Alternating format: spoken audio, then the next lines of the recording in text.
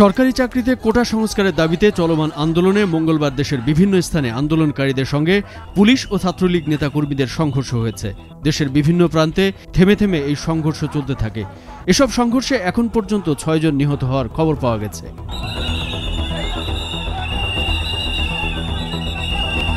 রংপুরে পুলিশের সঙ্গে সংঘর্ষে বেগম রোকেয়া বিশ্ববিদ্যালয়ের এক শিক্ষার্থী নিহত হয়েছে। মঙ্গলবার দুপুর আড়াইটার দিকে এই ঘটনা ঘটে। প্রত্যক্ষদর্শীরা জানান, দুপুরে বেরোবির কোটা আন্দোলনকারী শিক্ষার্থীরা পুলিশের বাধা অতিক্রম করে ক্যাম্পাসে প্রবেশ করতে চাইলে শিক্ষার্থীদের লক্ষ্য করে রাবার বুলেট ছোড়ে। এতে বেশ কয়েকজন শিক্ষার্থী আহত হন। পরে তাদের হাসপাতালে নেওয়া হলে একজন মারা যান।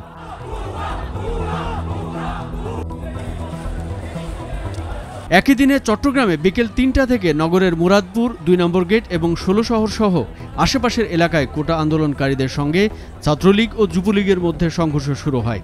এর আগে দুপুর থেকে বিভিন্ন মোড়ে অবস্থান নেয় ছাত্রলীগ, যুবলীগের নেতাকর্মীরা। দুই নম্বর গেট এলাকায় একটি বাস ভাঙচুর করে তারা।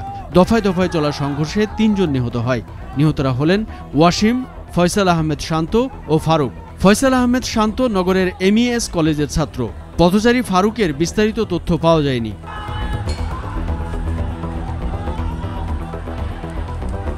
রাজধানীর ঢাকা কলেজ এলাকায় সংঘর্ষে অজ্ঞাত পরিচয় এক যুবক নিহত হয়েছে। ঢাকা মেডিকেল কলেজের হাসপাতালের পুলিশ ক্যাম্পের ইনচার্জ পরিদর্শক বাচ্চু মিয়া বলেন, গুরুতর আহত অবস্থায় এক যুবককে ঢাকা মেডিকেলে নিয়ে এলে কর্তব্যরত চিকিৎসক মৃত ঘোষণা করেন। তার কানের নিচে ও মুখের বিভিন্ন জায়গায় ধারালো অস্ত্রের আঘাতের চিহ্ন রয়েছে। অন্যদিকে সন্ধ্যার পর সায়েন্স ল্যাব এলাকার সিটি কলেজের পাশে রক্তাক্ত অবস্থায় একজনকে পড়ে থাকতে দেখা যায়। তাকে হাসপাতালে নেওয়ার পর চিকিৎসক তাকে মৃত ঘোষণা করেন। নিহত যুবকের নাম মনির বলে জানিয়েছেন হাসপাতালে নিয়ে আসা ব্যক্তিরা।